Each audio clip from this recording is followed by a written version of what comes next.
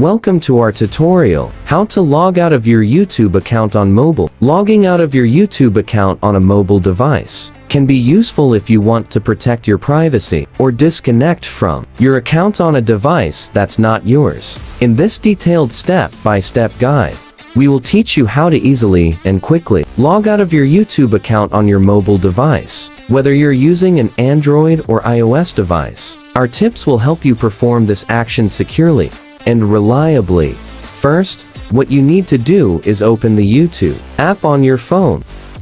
Make sure you're logged into the account you want to log out of. Then tap on the profile picture in the top right corner of the screen. At the top you'll see your name and YouTube username. Click on that.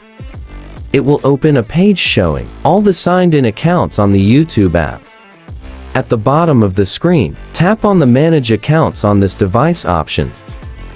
This allows me to add or remove accounts on this device, meaning log out of different accounts. If I want to log out of any of these accounts, I simply tap Remove from this device, and you can see that this account will be removed. Along with all the associated data, I just tap Remove, and that will log me out of that specific account.